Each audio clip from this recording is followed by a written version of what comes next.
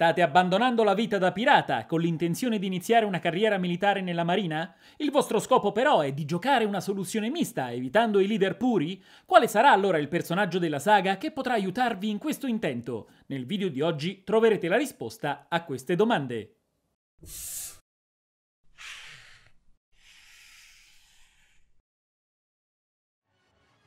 Signori, bentornati sul canale con il nostro consueto appuntamento settimanale. Con OP02 un nuovo colore giunto sui tavoli da gioco, il nero che attraverso i suoi due leader di rappresentanza, Smoker e Sakazuki dello starter, ha fornito agli aspiranti re dei pirati diversi stili di gioco, incentrati come sempre sulla dinamica della riduzione costo. Ma oltre ai monocromatici appena menzionati, anche un terzo leader si è unito alle danze, dando la possibilità a chiunque ne vestirà i panni di usufruire di due tonalità, nera per l'appunto, con l'unione del colore rosso. Garp infatti vi consentirà di mescolare pirati e marine in uno scontro senza precedenti dove queste due fazioni, costantemente in guerra tra loro, faranno fronte unico, combattendo assieme per garantire all'eroe della marina e di conseguenza a voi la vittoria finale. Prima di iniziare volevo invitarvi ad iscrivervi. Per voi è solamente un click, per il canale invece è molto importante. In questo modo crescendo si riusciranno a portare contenuti sempre più interessanti e ricercati.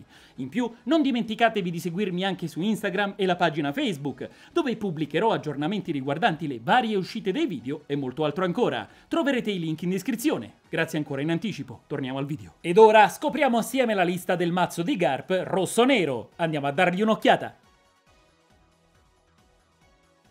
Partiamo come sempre dal leader, che nel vostro turno andrà a diminuire il valore di un character con costo pari a 7 o inferiore sotto il controllo avversario di tante unità quanti don assegnati allo stesso Garp o ai vostri personaggi. Davvero molto sinergico, soprattutto in combinazione con altre carte del mazzo che faranno di questa meccanica un punto forte. Ma non solo, perché nonostante possa sembrare un'abilità prettamente correlata al colore nero, l'assegnare dei don risulterà una costante utilizzata per qualsiasi deck allo scopo di aumentare la potenza dei propri character o leader, e perciò partiremo, a differenza delle profile passate, proprio da quegli elementi che faranno dell'assegnazione di almeno un don per l'innesco dei propri effetti una condizio sine qua non. Le tre copie di Luffy a costo 2 ci daranno il benvenuto in questa decklist. Con 3000 punti di forza nella vostra fase principale, una volta per turno, Cappello di Paglia potrà vedersi assegnare due donne esauriti, evitando inoltre di essere distrutto in battaglia da personaggi avversari con tratto strike. Una carta che, in un contesto come quello di riduzione costo proveniente dall'effetto del leader, potrà fare la differenza soprattutto come supporto per l'entrata in gioco dei marine che saranno a vostra disposizione. Altro tris per Nico Robin, che con i suoi 4000 punti di potenza a costo 3 potrà, quando attaccherà assegnandogli un singolo don, mettere KO un character avversario con forza pari a 3000 o inferiore. Il terrore di tutti i blocker di basso costo. La studiosa della ciurma di cappello di paglia il più delle volte è stata utilizzata come esca per attirare su di sé le risorse avversarie, permettendomi così di utilizzare liberamente un altro character del mazzo, che vedremo fra poco, che vi tornerà molto utile ai fini della strategia di gioco. Duetto per Smoker! Il fumoso non solo non potrà essere messo KO dagli effetti delle carte, ma attraverso l'assegnazione di un singolo don guadagnerà un pericolosissimo doppio attacco fin tanto che ci sarà un character con costo pari a zero sul terreno. Inoltre, con i suoi 7000 punti di forza costo 5, potrete impiegare il vice ammiraglio della Marina già dai primissimi turni di gioco, sinergizzando al meglio con l'effetto del leader che di sicuro ridurrà per quel che basta il costo dei personaggi rivali. Il Tris di Barba Bianca infine chiuderà questo reparto. Forza 10.000 a costo 9, quando il possessore del frutto Guragura entrerà in campo, andrà ad aumentare di ben 2.000 il valore di potenza del leader fino al vostro prossimo turno. In più, assegnandogli due don in fase di attacco, andrà a mettere KO un character avversario con potere pari a 3.000 o inferiore. Barba rappresenterà per voi una delle chiusure assieme allo Smoker appena visto, dato che con i loro attacchi metterete in seria difficoltà le difese rivali. Ora, dopo aver visionato le carte che faranno dell'assegnazione dei Don un punto cardine, vediamo quegli elementi che non solo riprenderanno questa dinamica, ma possiederanno anche un valore di 2000 counter a supporto, da utilizzare nei momenti delicati di un match. Garpa costo 2 in 4 copie sarà il primo più 2000 in fase di counter. Con 3000 di forza, segnandogli due don, quando attaccherà andrà a mettere KO un personaggio avversario con costo pari a 0. Garp sarà inoltre una presenza sulla board da mantenere assolutamente e grazie all'esca precedentemente menzionata, rappresentata da Robin, il vecchio, anche grazie all'effetto del leader, vi permetterà più volte di fare piazza pulita di quegli ostacoli che vi separeranno dalle vite rivali. Tre copie per Brook, che possedendo gli stessi valori di counter, costo e forza di Garp, una volta che entrerà in campo vi permetterà di assegnare due donne esauriti ad un vostro character o leader. Utilissimo allo scopo finale del deck, anche lo scheletro di solito l'ho utilizzato soprattutto nelle fasi finali di un match per fare presenza sulla board e allo stesso modo potenziare i miei personaggi. Un validissimo coltellino svizzero da utilizzare a seconda della situazione. Bene, prima di passare alla fase offensiva vediamo cosa sarà a vostra disposizione per difendervi dagli assalti rivali attraverso un reparto blocker di tutto rispetto. Altro tris per Chopper, che a costo 1 e 1000 di forza possiederà la sola parola chiave blocker a supporto.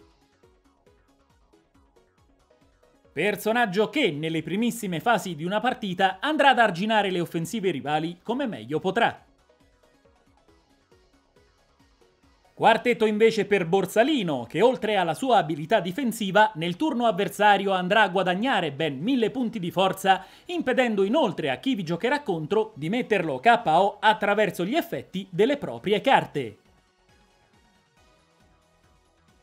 Uno dei character più forti della sua categoria, dato che a costo 4 con 5000 punti di forza potrà anche, all'occorrenza, minacciare le vite rivali. Piccolo spot in più per le tre copie di Nami a costo 1 e 2000 di forza che vi consentiranno di andare a cercare nel mazzo quelle risorse necessarie per velocizzare la strategia di gioco, dato che appena entreranno in campo vi permetteranno di visionare le prime 5 carte dalla cima del deck mostrandone una contratto Straw Hat Crew, aggiungendola alla mano, riposizionando infine le restanti 4 in fondo al mazzo nell'ordine che vorrete. Ma se non vi convinceranno, potrete optare per le altre Nami, quelle dello starter, che una volta per turno nella vostra fase principale andranno ad assegnare ad un character o un leader sotto il vostro controllo un don esaurito. Di certo una scelta che, se attuata, si sposterà meglio anche con l'effetto dello stesso Garp.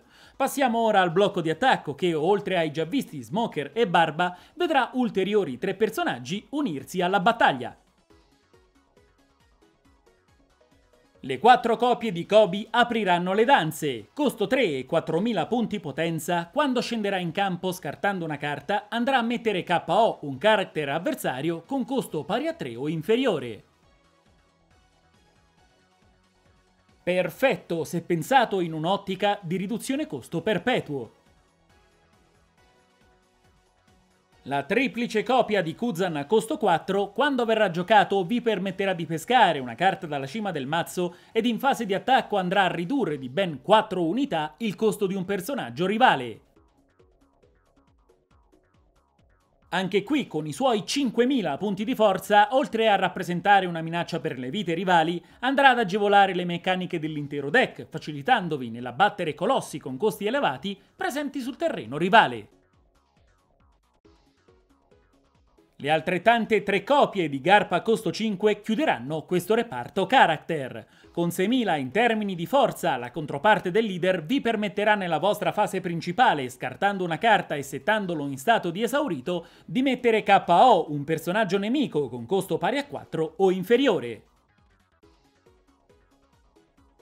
Di certo il vice ammiraglio vi potrà tornare utilissimo in combinazione con molti elementi presenti nel mazzo, dato che anche attraverso l'utilizzo dell'abilità del leader per voi distruggere cose non risulterà poi così difficile da fare. E quindi, dopo aver visionato l'intero reparto character, passiamo agli event che vedranno la bellezza di 12 carte che vi aiuteranno nelle diverse fasi di un match. Il quartetto di Radical Beam ci darà il benvenuto in questo compartimento. A costo 1, in fase di counter, andrà ad aumentare di ben 2000 il valore di forza di un character o leader sotto il vostro controllo, conferendogli altrettanti 2000 punti se possiederete due o meno vite in gioco. La sua abilità Trigger, inoltre, riprenderà la prima parte dell'effetto, aumentando in questo caso di soli 1000 punti la forza degli alleati, ma per l'intera durata del turno. Uno degli event rossi con rapporto costo-beneficio migliori in circolazione al momento.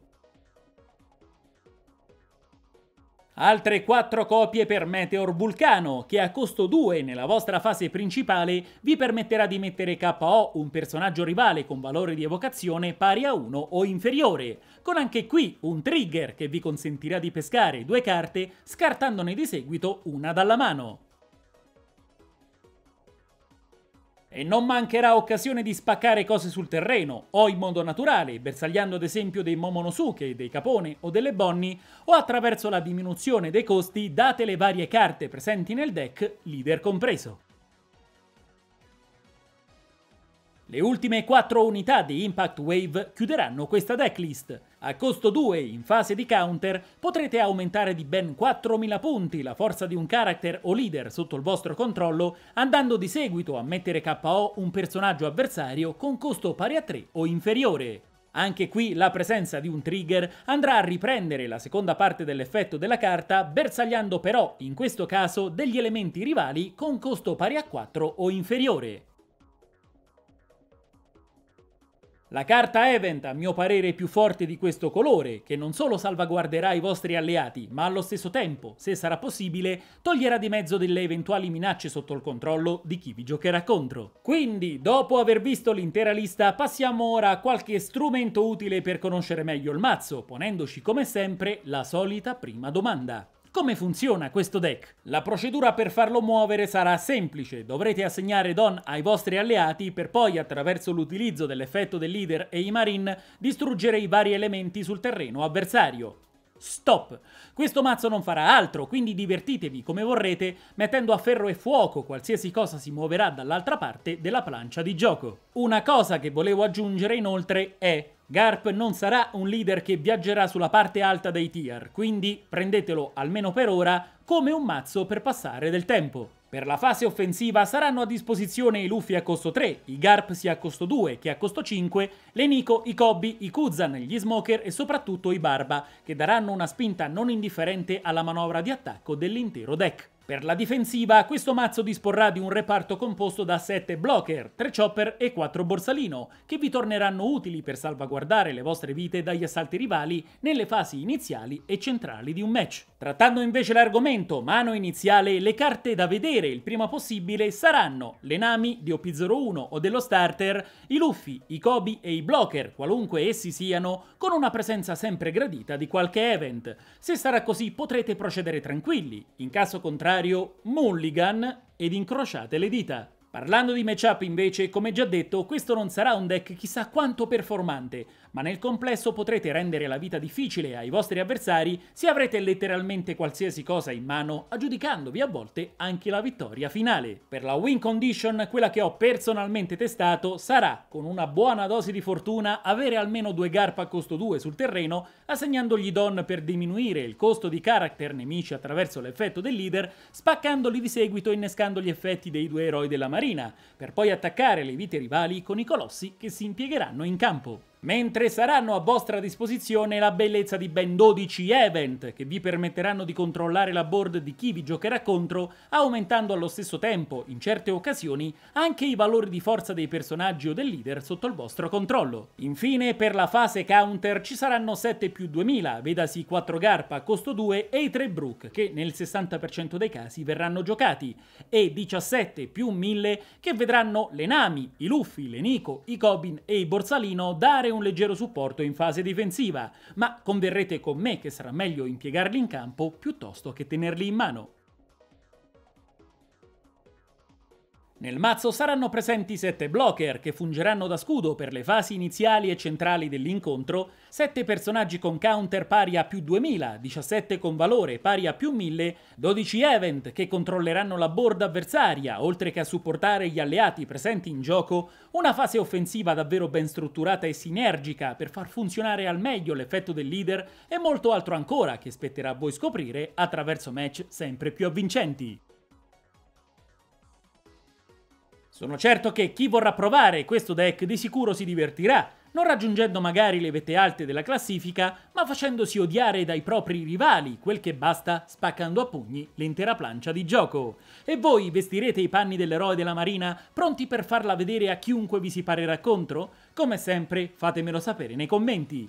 Mi auguro che questo video sia stato di vostro gradimento. Prima di salutarci vi invito a cliccare qui a sinistra se vorrete scoprire altri contenuti interessanti legati al mondo dei TCG. Vi ringrazio di essere stati in mia compagnia, noi ci vediamo al prossimo video.